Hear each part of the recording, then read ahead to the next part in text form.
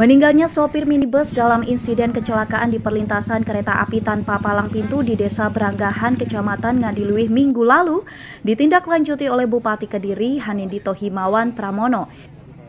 Untuk meningkatkan keamanan di jalan rawan tersebut, Bupati berkirim surat ke PT KAI.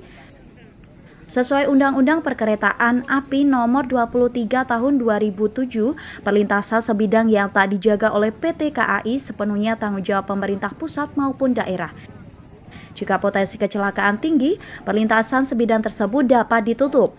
Namun, bila dikehendaki tetap buka, pemerintah daerah bisa mengusulkan penjagaan ke Kementerian Perhubungan melalui Dirjen Perkereta Apian, Dirjen Keselamatan Perkereta Apian. Sementara itu solusinya adalah perlintasan sebidang dibuat flyover maupun menjadi underpass.